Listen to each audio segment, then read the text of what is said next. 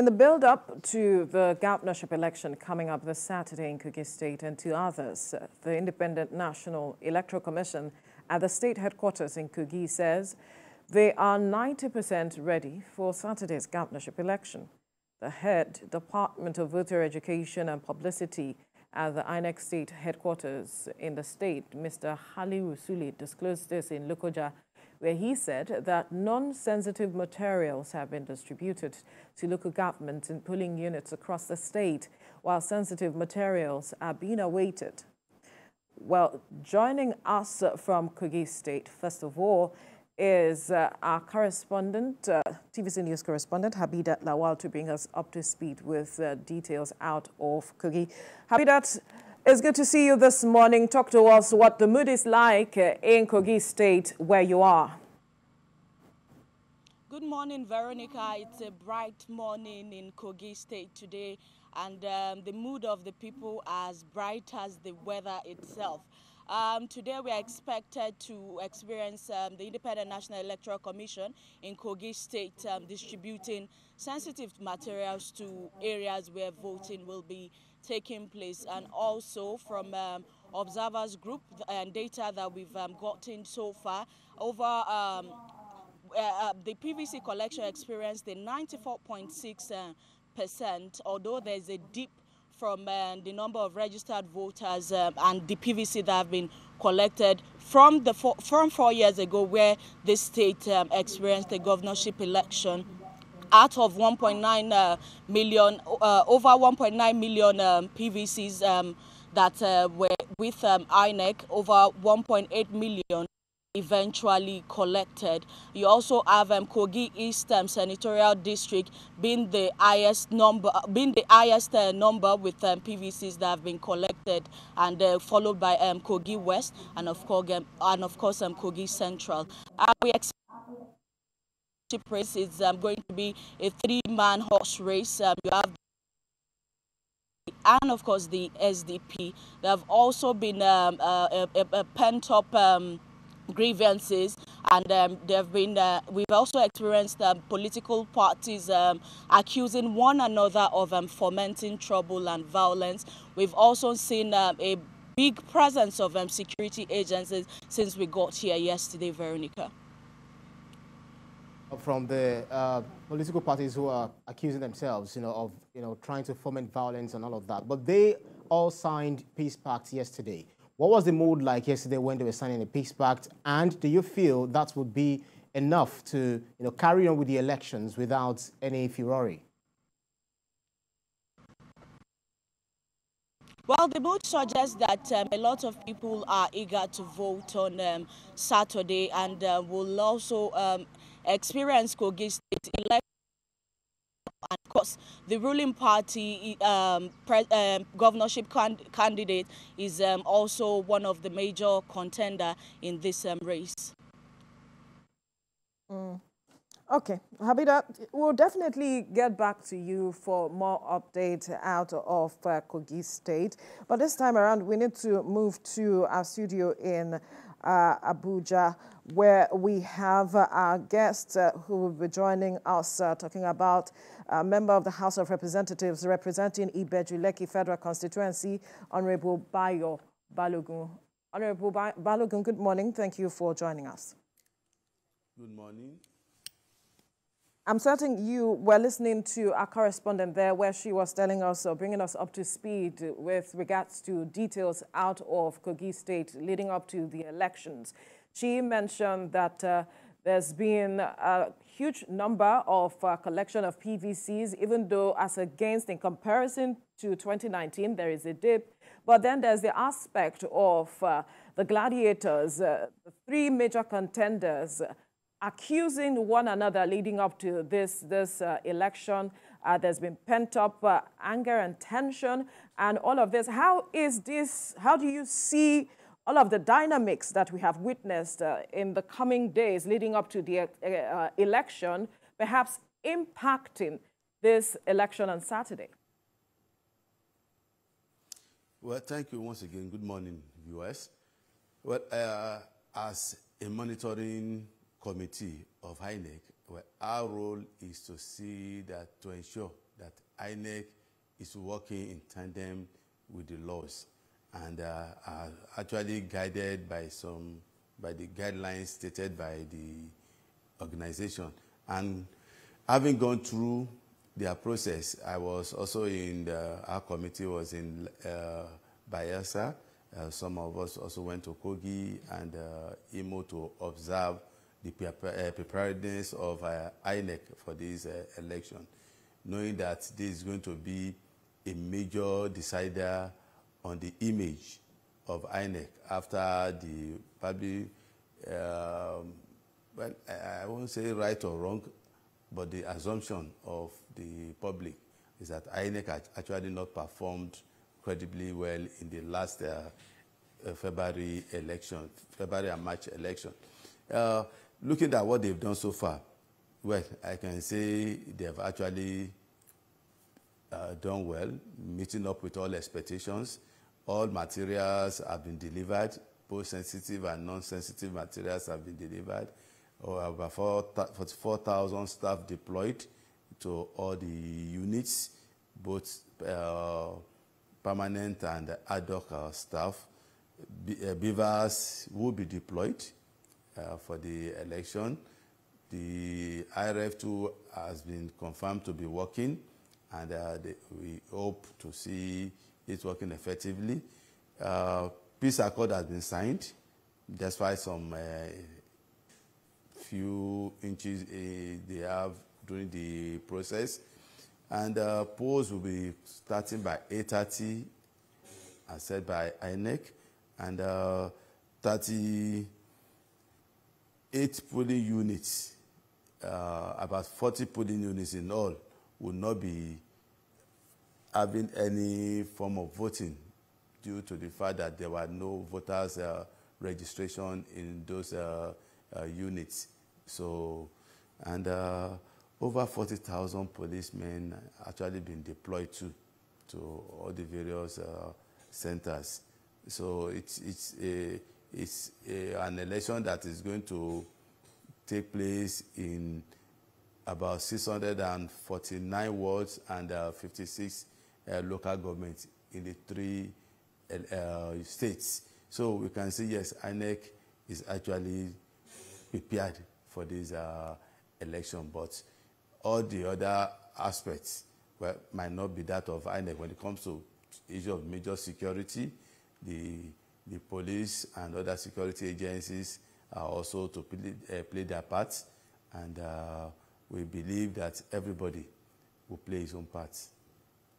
Well, um, INEC had said that, um, insisted that the BVAS cannot be faked because it's normal for political parties to express their apprehension as regards whether the BVAS can be faked. But then the chairman insisted that it can be faked. Uh, I would like to ask you, do you think that Nigeria or INEC has attained that level of sophistication where its BVAS cannot be, uh, you know, be, be altered or faked? No, well, that is not about INEC. Technology, INEC is not a technology-based uh, organization. It's, it's just using the technology. And uh, whatever happens in the area of technology is, should be a general um, situation within the country. But I believe INEC, I mean, uh, BVAS is not such a sophisticated uh, equipment. As long as the, the, the, line, the, you have data and the machines are okay.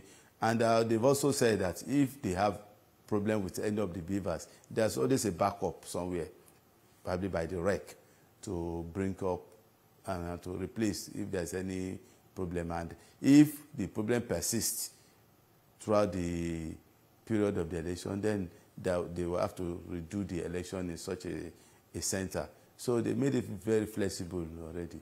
And uh, during the last election too, we didn't really see much of uh, BVAS failure. So where we had issue was actually the IReV, the loading of uh, all these uh, uh, results at the polling units. And you know the size of the election, it was election at all the various states. It's different from off-season election like this where you just have three states. So, and uh, if you look at all the, the size of the population of all the three elections put together. It's even not up to that of Lagos State. So we, we, don't, we shouldn't have any problem with these, uh, with the BVAS or any equipments. All right. INEC, in the course of the week, um, you know, called on its uh, electoral staffers uh, that uh, they must ensure that they carry out their duty diligently. And uh, the question is, how expedient is it for INEC, you know, to make this kind of statement? Recall that you mentioned earlier that uh, the image and confidence reposed on INEC is at stake as it is. Well, you see, we, we have to, first of all, ensure that we separate these issues. What are the functions of INEC and what are the functions of other agencies? Security is not the function of INEC.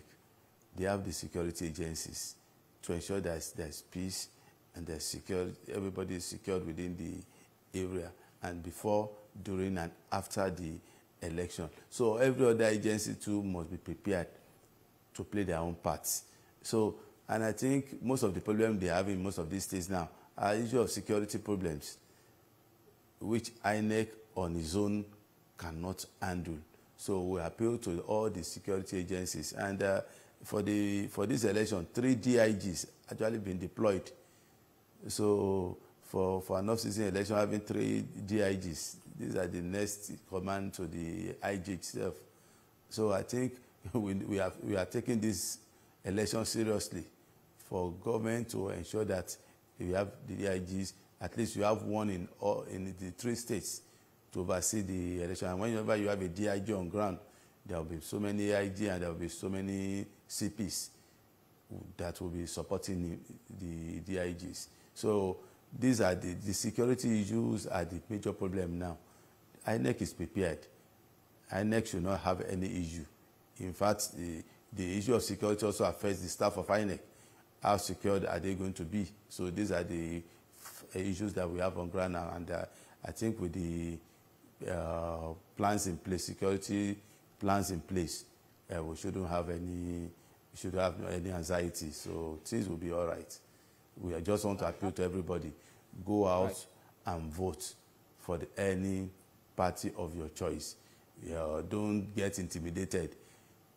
Don't bother yourself about what anybody says. Your focus should be going out to vote.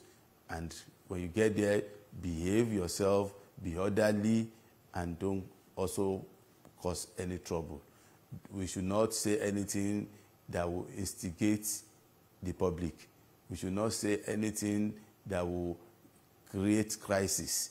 So it should be every one of us coming together to ensure that we have a peaceful election. And we should all know that the, the, the victory of any party or any candidate is not worth anybody's life or anybody's blood. So these are the things we should have at the back of our mind. Election will come and will go. So we should prepare ourselves to have a peaceful election and congratulate anybody that wins at the end of the day so that we can move on with the work of business, uh, business of the government immediately after the election. So that's my appeal to every one of us. Well, even though you said that uh, anyone who emerges winner should be congratulated, you are a member of the ruling party, and then definitely you would also wish your party well. And that's where I'm going. Uh, would you say that um, your party had done enough, you know, in Kogi State over the years during the reign of um, um, Governor Yahaya Bello to, for your party to be re-elected uh, as governor this Saturday? Uh, you see, I'm sitting here today as the chairman of House Committee on Electoral Matters. I'm not from Kogi. People in Kogi will take decision.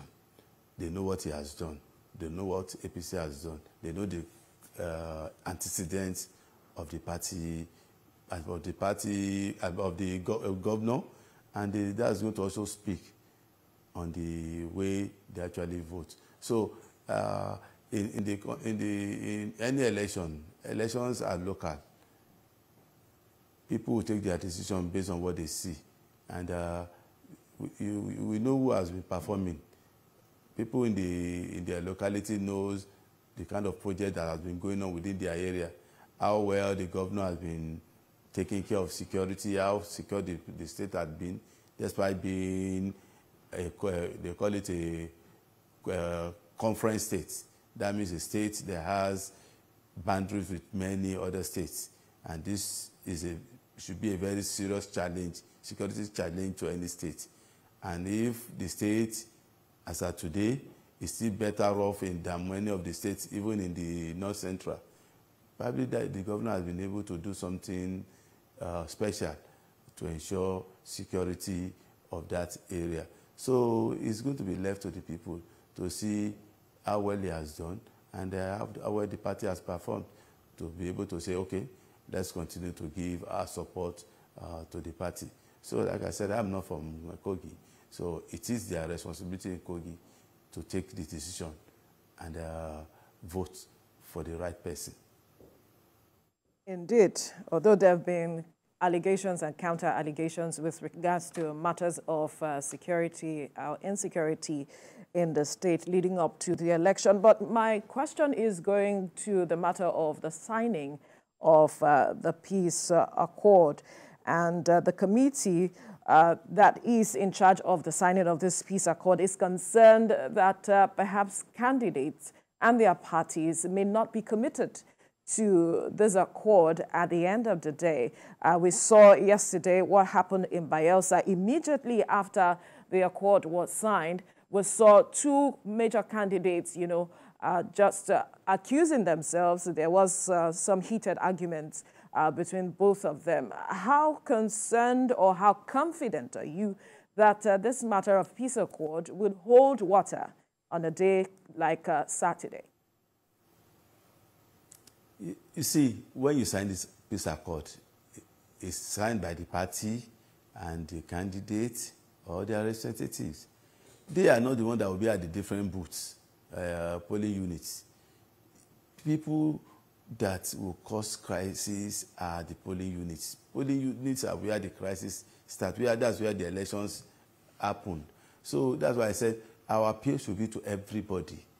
Those are just matter of intentions to, uh, to, say that yes, we are ready. But there are many other factors. Even when you hear some noise, even when you talk about domestic uh, violence, it might be the person that's actually causing the violence that is shouting the more. So most some, some of the times we, we don't just look at the noise. That's why the police have to do their job in, to investigate what and what is actually happening. Those are not the functions of INEC when it comes to security matter. That's why I said let's situate these issues at the right places. INEC cannot undo security. INEC is not the one in charge of the peace accord. This is what we all have to do. If, if there's going to be peace, it's going to be something coming from every one of us. And that's why we have to appeal to people that election will come and will go. You, you uh, the various units because these issues happens at the units. If you are standing at your unit and you cause crisis and your unit anything happens to you then you are going to be on your own after the election. So many people are still in detention and in police station after the 20 i mean the february election february march election. Some people have been incarcerated because of what they just said not even what they did what they just said. So you have to watch whatever you say whatever you see can be of uh, security implication. So everybody must be prepared. So let's look beyond the signing of peace accord. Let's ensure that we talk to our people. Those are the people that usually cause the problem. The, the governorship candidate will not go, up, go out and shout and say anything anyhow or fight. The party chairman in the state will not just go out and say anything anyhow and fight. These are not the people that will be causing the crisis it these are these the followers. Some people who felt ah, their their candidate must win at all costs. No candidate must win at all costs. Let the work of the candidate decide. Let the uh, performance of the candidate decide. So and i sure by now anybody everybody already knows who they want to vote for. So we should appeal to the people at the units these are the people causing the crisis and the police must be ready to do their job and that's why the number of uh, police officers deployed should be a signal to all troublemakers that government will not tolerate any form of violence or problems at the units. So these are the areas we should also we should be very concerned about. We want to also appeal to the traditional rulers, youth organizations. These, these are the people that have control of their areas and they can talk to their people.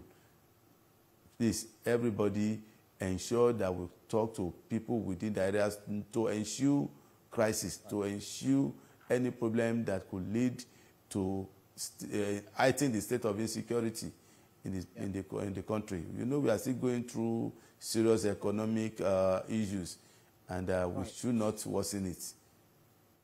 Okay, very quickly, um, we would like to ask your reaction as regards the, you know, the latest ruling of the appeal court, you know, sitting in Lagos that upheld the judgments of the election tribunal that, you know, also declared you the winner of the Ibeju-Lekki federal constituency election. Uh, talk to us about how this came to you. Were you really expecting it or you expecting something different?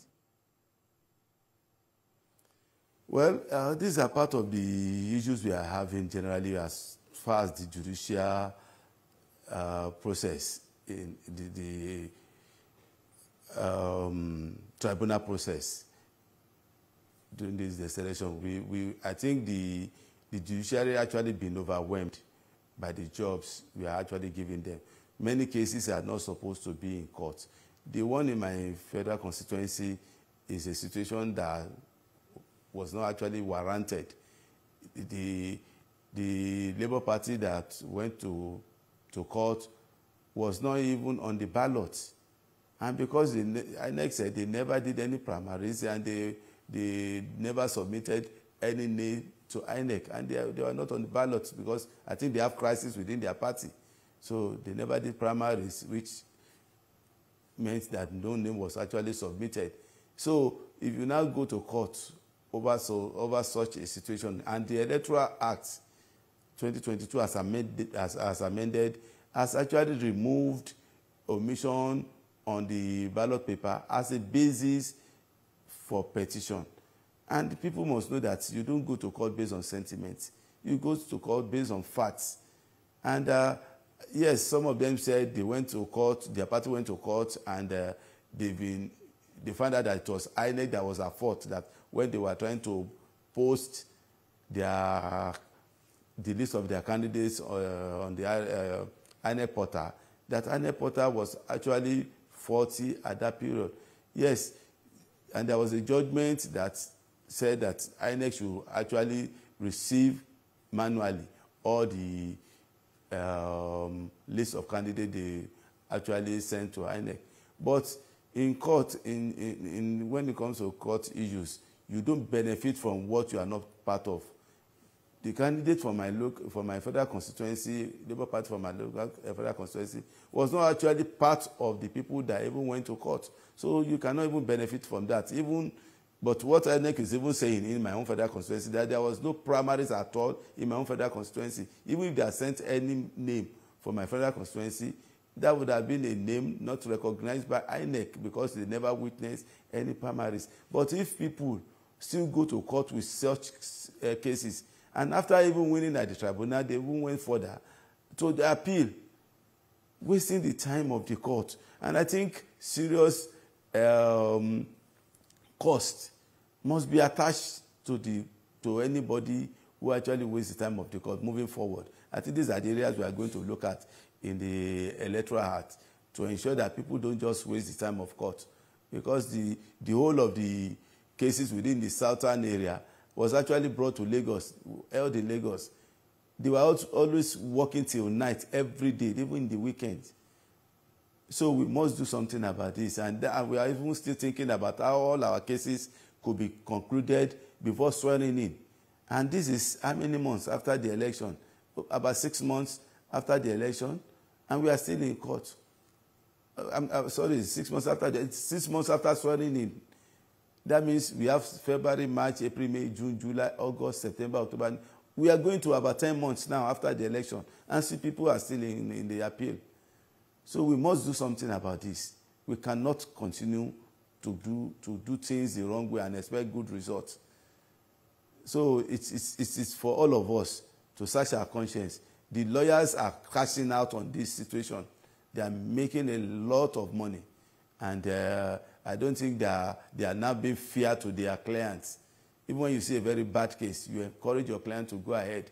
And even when they lose, you still tell them, yes, you still have a chance at the appeal. Yes, it's your constitutional right, but these are not rights that you, are, you should be abusing. We are stressing out the old judiciary. They have stopped all other cases because of uh, the tribunal. Many other cases has are actually been stopped.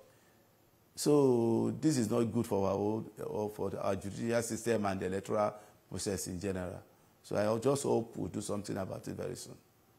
Right, because uh, this is also a matter of concern for some electorates who say, what is the essence of going out to vote when at the end of the day, it's the courts that will decide? No, the courts are not deciding. You see, when it comes to election, there are processes. Yes, even if you have the crowd, if you have people behind you, you must follow the, the right procedure. It's just about saying, I want, I'm a very brilliant student. Yes, I'm sure if I do jam, I will score 100%. And when they now say, take your form, fill your form, so, so, so way, and submit at so, so time, you, you forget to submit or you decide not to submit on time, and you are not claiming that you should go and see your, your school results. You are a very brilliant student. Did you actually submit your form when you are supposed to submit it? Did you actually go through the normal process of ensuring that you are a good candidate of JAMB at that period or WAEC, whatever election, I mean, examination you are preparing for? So it's not just for you to say that I'm brilliant. It is for you to have done the right thing so that your results will be able to come out and then the, uh, the, your efforts will then be rewarded. So it is for every one of us, even our parties now, we should ensure that when they say you should have uh, legal officers as part of your escorts, please get a lawyer to be your legal officer. Don't just get anybody to be the legal officer of the party. Because nowadays, the, the electoral heart is no longer what you can joke with. You have the electoral heart to guide you, and also have your party constitution to guide you during your primaries. It is in the law that you must decide, you must have your primaries at a designated place, which should be known to INEC. Your party register must be submitted to INEC 30 days before the primaries. If you flout these laws, you are bound to lose. Even if you have the crowd, it doesn't matter. You must go by the rules. So people must learn that the, there are rules that we must abide by so that uh, we will no longer be going to court. If I have a candidate, I'm an opponent that has not flouted one of, flouted one of these rules, I don't even have to do, more, do much of campaign. I will just wait for him after the election. I'll go to court and I'll get the mandate, even if you have the crowd behind him. It's not just about having the crowd. So let the public also know. Advise whoever you are following, which party you are following, or whichever candidate you are following, to ensure that they do the right thing so that they will not waste your votes. And I'm sure that uh, in all the judgments, you could see that most of them are actually, I think, less than 10% were actually uh, overturned at the Court of Appeal. That shows that the, the judgments at the, the judiciary level to are actually near perfect. So we just have to move on and ensure that we do the right thing.